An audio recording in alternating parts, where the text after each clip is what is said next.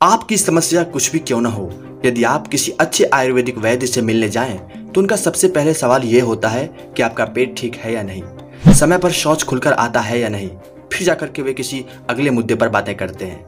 दोस्तों, आज के इस भाग दौड़ भरी ज़िंदगी में आदमी को इतना फुर्सत ही कहाँ, जो अपने बारे में समय निकाल कर सोच भी सके। थोड़ी परेशानी हुई कि तुरंत दवाई खा ली, पर याद रखना, इससे आप तुरंत छुटकारा तो पा सकते हो, परंतु यह आपका स्थायी समाधान नहीं होगा। कहा जाता है कि पेट ही हमारे रोग और आरोग्य का केंद्र बिंदु होता है।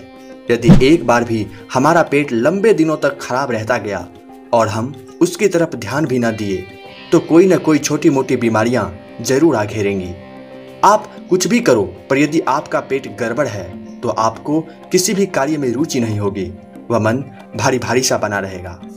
दोस्तों, इसलिए आप कुछ भी करो या ना करो, बस केवल अपने पेट को हमेशा ठीक रखने का कोशिश किया करो। आज हम उन गलतियों के बारे में आपको बताने जा रहे हैं, जो लोग अक्सर किया करते हैं। वह उनकी तरफ़ कभी ध्यान भी नहीं देते, जिसके कारण पेट हमेशा गड़बड़ रहता है। तो चलिए आगे जानते हैं इन कारणों के बारे में।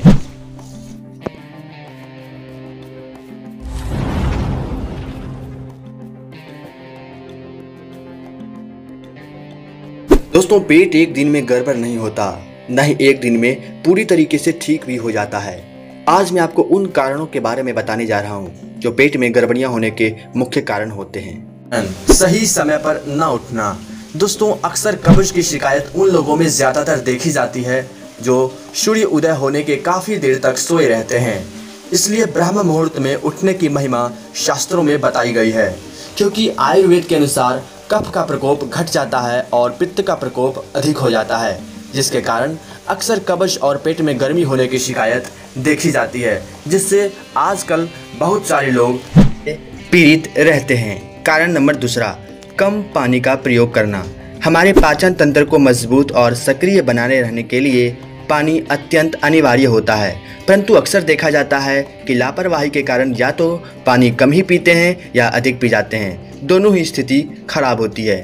इसलिए आपको संतुलन बना करके कम से कम दिन भर में चार से पाँच लीटर पानी का प्रयोग करना है। कारण नंबर तीसरा, खाने के साथ पानी का प्रयोग करना।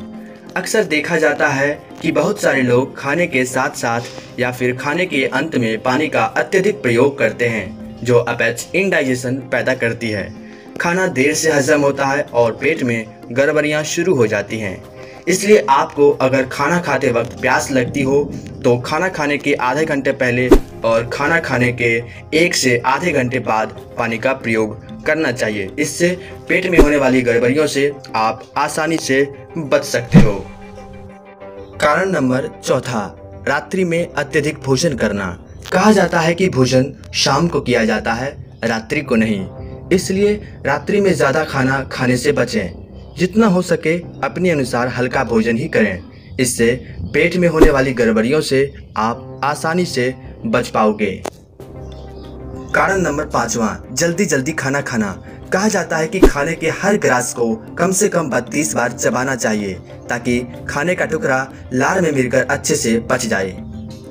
और अब सबसे आखिरी बात, मानसिक चिंता। मनोवैज्ञानिकों का कहना है कि मन खराब तो पेट खराब और पेट खराब तो मन खराब। इसलिए मन में चिंता, क्रोध आदि हो तो उस समय भोजन नहीं करना चाहिए। इससे पेट में होने वाली गड़बड़ियों की संभावनाएँ अधिक बढ़ जाती है। इसलिए मन को हमेशा खुश रखने का कोशिश करना चाहिए। और अगर मन खुश रहने लगा तो शरीर ऑटोमेटिक स्वस्थ होते चले जाएँगे। तो दोस्तों, उम्मीद करता हूँ मेरी दी गई जानकारी आपको अच्छी लगी होगी व कुछ सीखने को मिला होगा। तो चलिए, फिर मिलते हैं किसी अगले वीडियो में किसी अन्य जानकारी के साथ। तब तक आप बने रहिए मेरे साथ। धन्यवाद।